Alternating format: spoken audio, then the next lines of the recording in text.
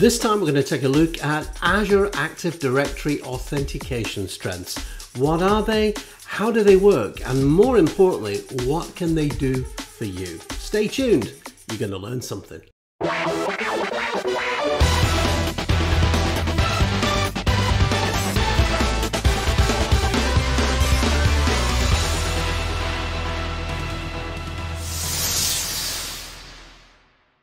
Greetings, my fellow YouTubers. Welcome to the channel. Hey, I hope that you're having a great Easter holiday because many of the uh, schools uh, are, of course, throughout Europe are on holiday right now. So this time I thought I would take a look at Azure Active Directory's authentication strengths feature. And this is a feature that's really enhancing MFA. One of the things that a lot of customers complained about was that multi-factor authentication good as it was, it was either on or off and it was kind of limited. Well, authentication strength changes all of that because you can now customize your own strengths that best meet your requirements for your organization. But just how does it work? Well, I've got a really nice demo that I'm going to walk you through the whole thing and also how it integrates with the likes of conditional access as well. Now, um, if you haven't subscribed to the channel, well, you know what I'm going to say. Come on board, come and join us. Click on that subscribe button up there, ring that bell, and you won't miss out on any videos or notifications. And of course, if you want to make a comment, question, in fact, anything at all, please just get them down below, and I will do my very best as always to answer them for you. So I think without any further ado, we'll jump in with the demo and I really hope that you enjoy this. So Azure Active Directory Authentication Step. Alrighty, I'm starting here in the Microsoft Entra Admin Center and what I'm going to do is I'm going to come into Azure Active Directory and I'm going to scroll down here and I'm looking specifically for this, protect and secure. So in here, you can actually uh, have a look at either authentication methods and you'll find authentication strengths here, or alternatively, you can go into conditional access and again, you'll find the same thing here. Either way, it doesn't really make any difference which one you choose. I'm going to come into conditional access here and by default, you get three basic um, multi-factor authentication strength. I would suppose you would call them profiles. And these are kind of three that are built in. So if I go into multi-factor authentication here, you can see that um, this is essentially what I'm going to allow for MFA. So either Windows Hello for Business or a FIDO key or certificate-based communications, uh, and you can either do or these different options here. All right. So uh, again, you can see federated single sign, uh, single factor plus an M SMS. Um, so again, as I said, you can easily customize this yourself. But what makes this interesting is that you can also create uh, profiles here as well. So for example, I'm uh, in Oslo, so I'm going to say, yeah, I want to create an Oslo HQ um, authentication strength. Okay, and I'll just call this uh, 01. Okay, so again, I could put in a little description, and here you can see that you've got different kind of formats, if you will, so different categories of um, authentication. So single factor authentication, a password, hmm, I'm thinking you probably don't want to choose that one. That's not really good. Um, very poor security. So rather than this, I can then say, okay, um, I actually want to create my own custom um, authentication strength. So I want to bring in Windows Hello for Business. I might want to do certificate based authentication. Um, for passwordless, um, again, I'll say, yeah, let's do the, uh, you want to allow the phone sign in um, with multi-factor authentication. You might want to let users use the temporary access pass. Um, we can uh, either choose a one-time use or multi-use. So again, for additional security, you might not want to use that one. Um, password plus multi-factor authentication push notification. Again, that really depends on whether you still want to use passwords as an authentication method. Um, again, you can also combine it with other tokens as well. So, for example, hardware tokens, um, if you want to bring it with password and voice, for example, voice recognition. Um, however, I'm a, that makes me a little bit nervous because you know there's so many AIs out there with voices where you would swear it's the actual person. You understand? Um, so we can then come into federated single factor. So if you're using uh, Active Directory Federation services, but you can see you can use a number of these different uh, mechanisms here. So I'm going to use the authentication for sign in um, again, and you can you can choose any of these that you want to as well. So you can see that the fact is that you can go in, you can choose um, which options you want to bring in. So I'm using phishing resistant multi-factor authentication. So again, you can go through each of these and say basically what you want to uh, support. Okay, so now I'm going to say, now that I'm happy with that, I'm going to click on next. And again, you can see that I get my options here. So I'm going to go ahead and create that profile. So that just takes a few minutes. So as I said, you can either go through the authentication strengths from within conditional access, or you can simply go in from authentication methods themselves. So you can now see I've got a, my own policy. So where can I use this policy? Well, um, I can, of course, go into conditional access. So I'm going to go into my policies here. I'm, I can also create a policy or of course I can use the template policies here. Just to say, by the way, if you've not been into the template policies for a while, they have kind of gone on steroids at the moment. So you can see that we now have specific categories. So secure foundation, so things like blocking legacy authentication, um, requiring multi-factor authentication for uh, any kind of Azure management, and then, of course, we've got zero trust. Zero trust, verify everything. We assume breach, of course. Um, and of course, always use the principle of least privilege. These are the foundations of zero trust.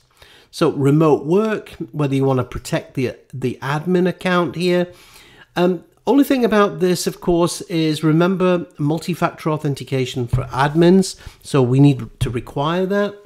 The only issue I have with that, of course, is that Microsoft recommends that you have two break glass accounts. So a break glass account is what happens if you get stuck in multi-factor authentication and you simply can't get back into your account. Microsoft recommend that you have an incredibly complex password on an admin account and essentially that you lock it in a safe and you secure it as much as possible. You can find out more about that on learn.microsoft.com by the way. So I'm going to go back into my conditional access policies and I'm going to create a new policy by scratch. So in here, I'm going to call this my Oslo HQ policy. And I'm going to say this is for my users. Is it for all users? I'm going to select users and groups. So in this case, I'm going to say users and groups and perhaps any guests. So you can include them if you want to. Um, I'm going to say this is for my Oslo and Oslo HQ and my Oslo project team. So I'm going to click on that. Now, as I've said in the past, conditional access looks at signals, okay? So these are the signals. So is it based on cloud apps or specific apps? Is it based on a user's actions or an authentication context? For the purpose of this demo, I'm using all cloud apps. I'll just say all cloud apps. Then I'm going to say, okay, they must meet these conditions. So did, does the user present any kind of risk? So again, I could say, yeah, high and medium risk, that's fine. I could say um, sign-in risk. So are they particularly risky in the forms of sign-in? I could say yes, that's fine. Um, are they using a particular device platform so we could travel back to the early noughties and block the Windows phone? I don't know why that's still in there, but there we go. Um, I, for this purpose, I'm just going to say any device. You can also exclude devices here as well. So if you want to exclude a particular device, you might have separate policies for different devices, for example. Um, sorry, I'll click on done. Uh, next is locations. So uh, again, if you've got a trusted location, so for example, if I'm in the Oslo office today, um, I don't need you to do multi-factor authentication because you're already in a secure location. So I could say, yep, selected locations. I've got one here called Norway and multi-factor authenticated trusted IP addresses. So, for example, that could be people that work at home. Let's face it, many of us do these days. Okay, so the next thing then is client apps. So um, I always say this. Yes, of course, I want to use browser and mobile apps, but I do not want to use legacy apps. Remember what I said about legacy apps is that they ignore multi-factor authenticator rules. So potentially this is a serious backdoor for a potential phishing attack. Um, and then finally, this is great. This is actually a form of ABAC or attribute-based access control. So we spoke about devices coming in, but you can actually go in here and you can include or exclude um, dynamic um, devices. So I could say if it's using a particular device ID, um, let's say device ownership, you might want to create a policy for device ownership. And I could say, yeah, this equals. And I could say, okay, let's do one for corporate devices. So I could say, yeah, as long as they're coming in on a corporate device, that's fine, as long as it's a, a managed device. Okay, so those are my signals. All right. Now, based on those signals, am I going to grant access or block access? Well, if I do grant access, do I require multi-factor authentication? But you can also see authentication strengths is here as well, but I can't click on it. And the reason for that is because you've selected the default setting. But now I can go ahead and I can actually choose my authentication strength. So you can see here, I've got my Oslo HQ. So there's my Oslo authentication strength. I've got some other options here as well. So if you're pushing out devices in Intune, I can require the device to be compliant. Um, require the approved client app. So you can set a list of approved apps that you're happy with. You can also do app protection policies as well. So making sure that those, those apps are up to date. Um, and you can either choose here to require all of the controls or just one of them. So for the purpose of this demo, I'm quite happy with that and I'm going to click on next. Now that I've granted control, um, the next thing is you want to control the session, how long they're on for. So again, I can set up uh, app enforced restrictions, and you could do this via uh, Microsoft Defender for Cloud apps. Or I could use a conditional access cloud, uh, sorry, conditional access app control. And you can set this up so the user can't download any files, for example. They can only view them online. That's really nice. And you can also create your own uh, custom policies in there as well. Um, how often do you want the user to re-sign in again? So again, you could say, you know, every 30 days or hours or weeks. So if you worked in a bank, you might want to force users to sign in again. Are you going to allow a persistent browser session? That means the cookie that says, you know, keep me signed in. Do you want that or do you not want that? So again, maybe uh, you could be in a financial institution, so that's something that you may not want. Um, again, you resilience. So again, do you want to do resilience? This one is continuous access evaluation. So this is continually monitoring all the security features in Azure and 365. And basically, if anything doesn't look right, what it will do is it will send out a challenge to the user to re-authenticate again. And then finally, require token protection to sign in sessions. This is currently in preview. And if you want to know more, there is a link here. And uh, I'm going to cover that in a previous, in a future session, by the way. So let's click on select. So I've now done my uh, control. Now you can you can actually switch this on if I want to. I can do it in report mode. Um, for the purpose of this demo, I'm going to choose report mode actually. So I'm going to click onto that. So I've now done uh, my conditional access policy along with an authentication strength. Uh, Andy, how do I see that? That's a good question. So when the user logs in, what will happen is if I just come into my um, Azure, sorry.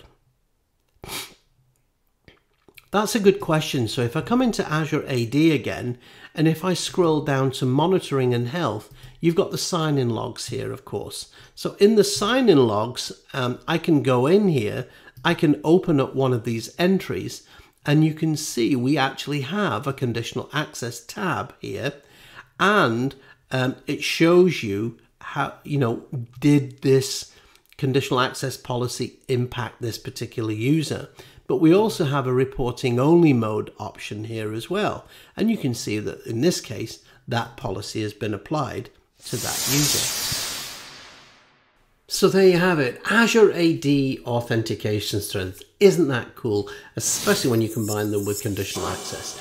Hey, well, listen, I really hope that you enjoyed today's session. And if you did, then of course, please click the like button. It really does help my channel. And go ahead, subscribe. Come on, join us. Uh, we'd love to have you on board. And questions and comments, of course, just get those down below and I'll do my best for you. That's it for today. You stay safe. I'll see you next time. Take care.